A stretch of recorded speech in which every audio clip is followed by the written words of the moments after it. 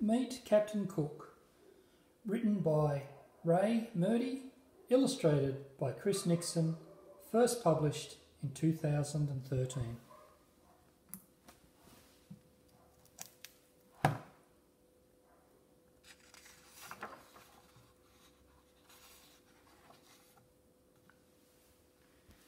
Captain James Cook was an English explorer in the British Royal Navy. In 1768, Captain Cook and his crew on the HMB Endeavour set sail from England in search of new lands and scientific knowledge. This is the story of how Captain Cook discovered the east coast of New Holland, Australia, on that voyage.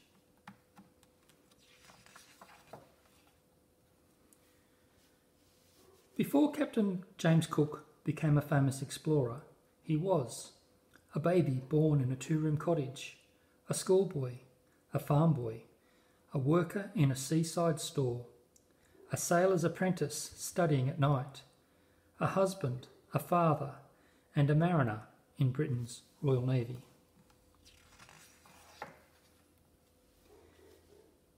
In the Navy, James Cook studied astronomy, science, and maths, all while dreaming of one day commanding his own ship on epic voyages.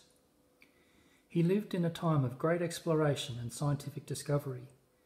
Nations raced to unlock the secrets of the world and its oceans.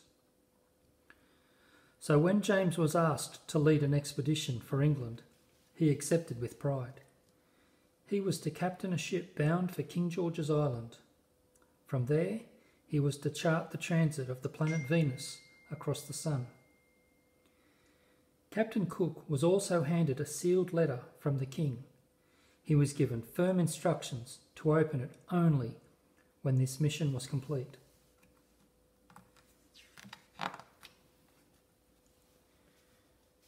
Captain Cook set about preparing for the expedition. For weeks he studied and planned and calculated. Of all the boats in England, a coal ship was chosen for the voyage. Though small, the ship was sturdy and strong. She was refitted and christened the HMB Endeavour.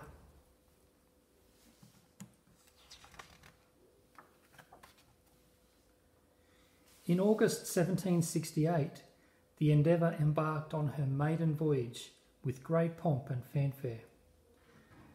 Among those on board were a variety of animals, 55 sailors, a one handed cook, an astronomer, four artists, and a botanist by the name of Joseph Banks.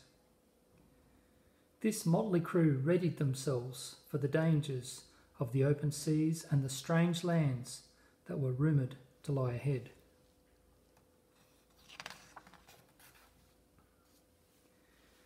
The Endeavour made her way down the coast of Africa in fine weather.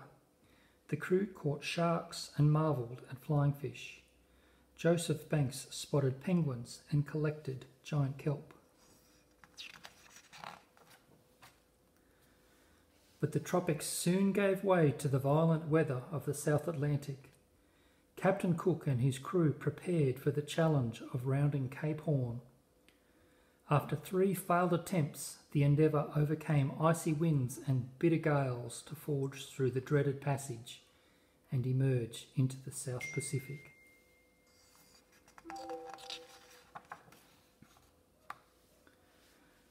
After eight long months at sea, the crew dropped anchor off the coast of King George's Island. The locals paddled out to welcome them. They traded fresh food in exchange for beads and metal tools. Captain Cook and his men built a fort and an observatory, where on a clear day they gathered to watch Venus pass across the sun. At last it was time to open the king's secret letter. It revealed a new and most important task to venture south in search of new land. The Dutch had already discovered New Zealand and parts of the neighbouring continent of New Holland, but both were still unmapped. And there were whispers that the Pacific Ocean was also home to a great southern land, Terra Australis. Captain Cook was to find it and claim it for the king.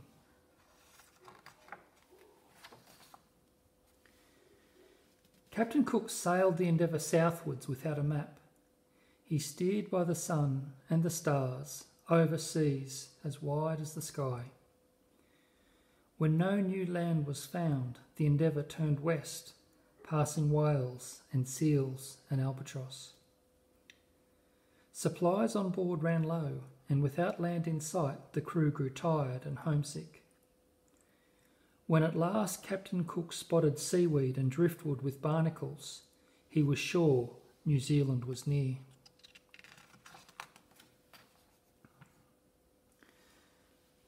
At New Zealand's Poverty Bay, Captain Cook and his crew faced fierce Maori warriors. Once an understanding was reached, the crew bartered for fish, lobster, and even stingray. With fresh supplies on board, Captain Cook set about exploring New Zealand's inlets and bays.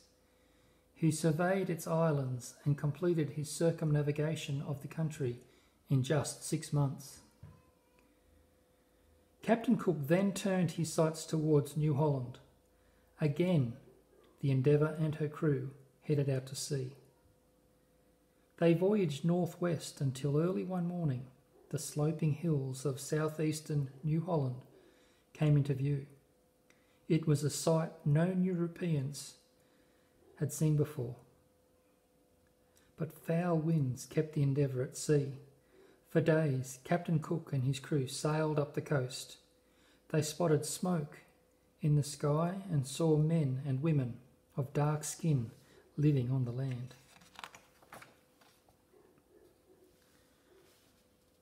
When the gales eased and the sea calmed, the Endeavour weighed anchor in a sheltered bay, and her weary crew made dry land. The locals seemed to want them gone, but the Englishmen persisted. The crew barreled fresh water and caught more fish than all hands could eat. Joseph Banks ventured inland. He observed strange animals, collected flora, and examined the soils and waterways.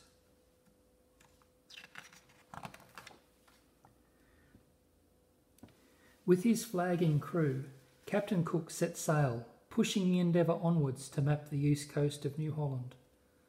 The further north the Endeavour went, the more dangerous her voyage became. Day and night, Captain Cook and his crew battled the narrow gap between land and reef until one fateful night she crashed upon a coral bank. Captain Cook commanded his men to heave, but the ship wouldn't budge and water came rushing in. At high tide, Captain Cook again rallied his crew. Exhausted, the men heaved and heaved, then heaved again. At last, the Endeavour came free, but she was still leaking and in need of urgent repair. Three days later, Captain Cook found a harbour to beach his leaky ship and began repairs. The crew caught turtles and picked wild greens. They saw strange coloured wolves, fat alligators, and a strange looking beast with a long tail and a hop like a rabbit. An uneasy truce was struck with the locals. Fish were exchanged, a new language was learned, including the word for the strange looking beast. After several weeks, the Endeavour was ready to set sail with the first fair wind.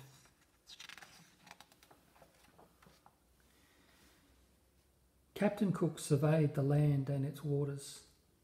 From the very tip of the continent, he plotted a course to navigate the Endeavour clear of the danger and to open sea.